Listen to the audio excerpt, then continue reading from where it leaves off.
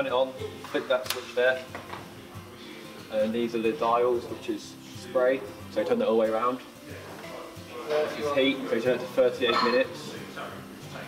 And that's the cool down, which you don't need just yet. Turn the lights on, you flip these two. And then to spray, you turn that, which gives you extraction and air. Check the temperature for spray, hold that button in there. And then for oven, you check that one there. Put it on spray, turn that one over, uh, bake, put that one down. And then turn up to 40 minutes. And that one down.